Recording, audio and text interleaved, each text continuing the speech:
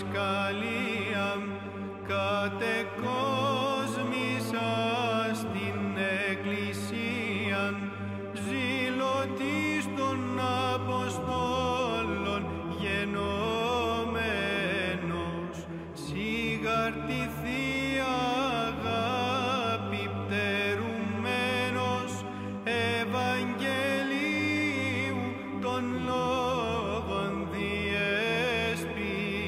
διεσπήρας κοσμά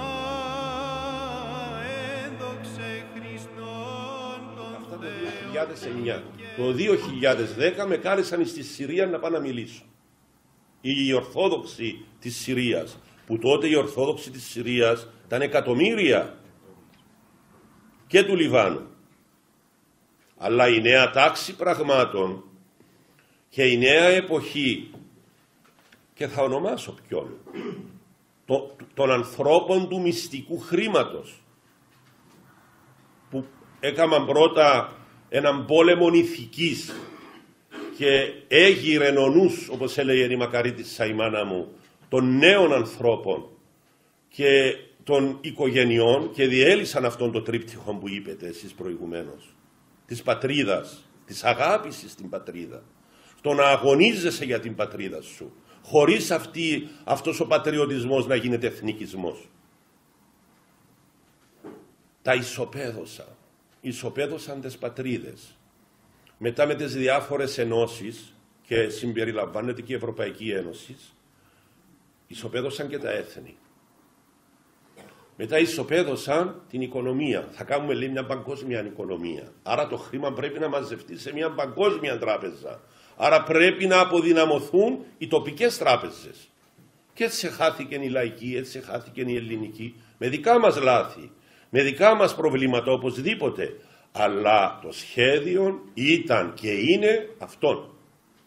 Να μην έχουν τα έθνη και τα κράτη δικών τους χρήμα, δικών τους τραπεζικό σύστημα. Να μην έχουν πατριωτισμό, να μην έχουν θρησκεία οι λαοί. Γιατί, γιατί ο στόχος της νέας τάξης πραγμάτων είναι να δημιουργηθεί μια νέα ανήθικη ηθική όπου όλες οι αμαρτωλές επιθυμίες να νομιμοποιούνται μέσα από τη Βουλή με τα διάφορα νομοσχέδια που ψηφίζονται με τα διάφορα προγράμματα των ποικίλων Υπουργείων Παιδείας και είτε η κυβέρνηση είναι δεξιά, είτε είναι κεντρώα, είτε είναι αριστερή και στην Κύπρο ζήσαμε όλες τις φάσεις και των τριών ειδών κυβερνήσεων. Λοιπόν, εκεί που συμφωνούν όλοι είναι στην οικονομία, στην ηθική, στη διαφθορά και στα προγράμματα του Υπουργείου Παιδείας. Και κάτι άλλο που δεν έδωκαμε σημασία και στα προγράμματα του Υπουργείου Γεωργίας. Να μην έχουμε δική μας γεωργία. Να έχουμε εξάρτηση ακόμα και στα μήλα και στα κεράσα ε, από τις εξαγωγές. Εισαγωγές, με συγχωρείτε. Από τις εισαγωγές. Οπότε όλα αυτά τι συμβαίνει; Συμβαίνει ότι θέλουν να δημιουργήσουν έναν καινούριο τύπο ανθρώπου που να μην έχει ηθικές αντιστάσεις, να μην έχει θρησκευτικές αναζητήσεις, να μην, έχει αναζ... να μην αναζητά την αγιότητα, αλλά τη διαφθορά και την ικανοποίηση των επιθυμιών του μέσα από νομοσχέδια και σιγά σιγά να οδηγήσουν σε μια παγκόσμια οικονομία και μια παγκόσμια θρησκεία.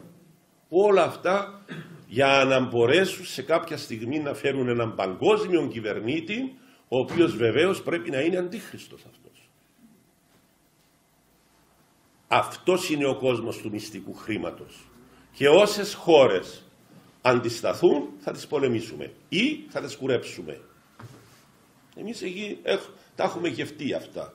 Μου λέει ένας σύγχρονος Άγιος, εσείς οι Κύπροι πληρώσετε πολύ πρόστιμο από το 74. Έτσι σε εσάς μου λέει θα έρθουν λίγα τώρα. Διότι εσείς πληρώνετε από τότε. Και τα λάθη μας και τα πάθη μας, αλλά και την επιβολή αυτής της νέας τάξης πραγμάτων. Που όπως είπα είναι πόλεμος ηθικός, πόλεμος οικονομικός, πόλεμος πνευματικός. Και έχει γίνει σε διάφορα επίπεδα και τώρα μας θεωρούν τελειωμένους. Το ότι κάνουμε αυτή τη συνάντηση τώρα, να το ξέρετε ότι θεωρείται ε, εχθρική ενέργεια και να είστε σε θέση να αναλάβετε τις ευθύνες σας. Έτσι. Ε, και ότι εμείς μιλούμε για αυτήν την νέα τάξη πραγμάτων με αυτήν την απαξίωση. Λοιπόν, αντιλαμβάνεστε ότι εμείς και ακούσαμε και είδαμε όλα αυτά τα σχέδια και της νέας τάξης πραγμάτων που δεν είναι όπως αναλύουν πολλοί γεωπολιτικοί ότι το σχέδιο είναι να ελέξουμε το πετρέλαιο και το φυσικό αέριο. Αυτό, με συγχωρείτε, είναι μια αφελής ερμηνεία, επιφανειακή ερμηνεία. Νομίζετε ότι η έγνοια τους είναι μόνο να ελέξουν τους ενεργειακούς δρόμους του πετρελαίου και του φυσικού αερίου; Η έγνοια τους είναι η προηγούμενη που είπαμε. Πώς να δημιουργήσουν τον καινούριον άνθρωπο που δεν θα έχει οικογένεια, που δεν θα έχει πατρίδα, που δεν θα έχει πίστη. Αυτή είναι η έγνοια τους. Και για να το αντιληφθούμε καλύτερα δεν έχουμε παρά να κοιτάξουμε τα παιδιά μας στο σπίτι και τα εγγόνια μας.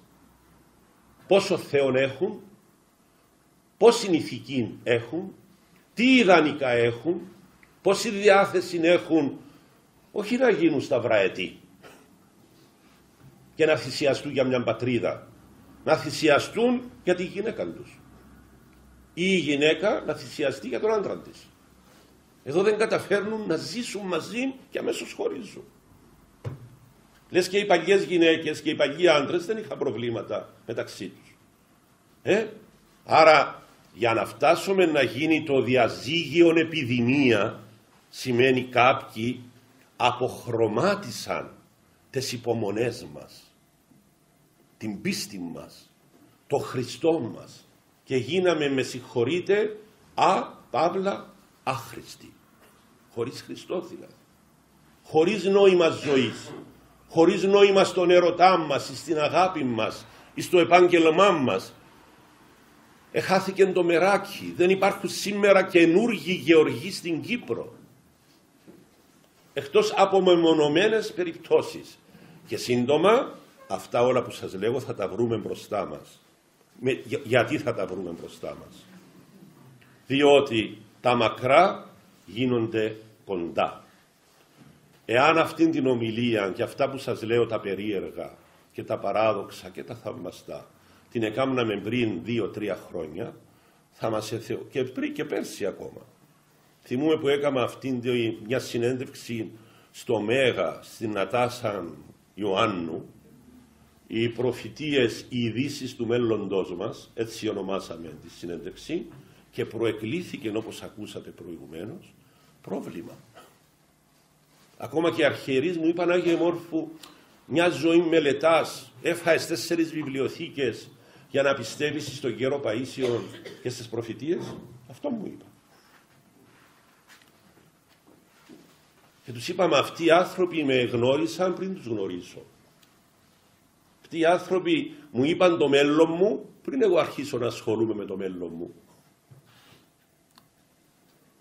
Ε, πώς να μην τους δώσω αξία, να μην τους δώσω σημασία, ε; να μην λάβω υπόψη μου των προφητικών τους λόγων και των ρόλων που έχουν σήμερα να διαδραματίσουν.